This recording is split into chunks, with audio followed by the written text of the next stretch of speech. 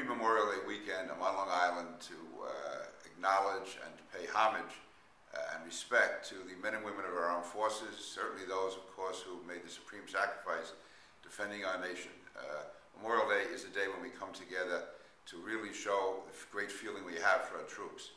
This year, however, I will not be able to be with you on Memorial Day because I will be in, in Afghanistan. I will be visiting the troops. I will be trying to assess firsthand what the situation is in Afghanistan and also to demonstrate my support for the men and women who are serving there.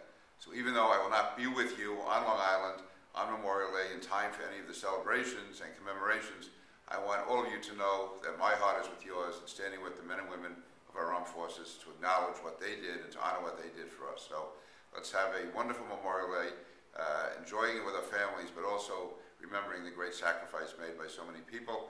And after I do come back, I will report to you on what happened during my trip and what I observed in Afghanistan. Thanks a lot.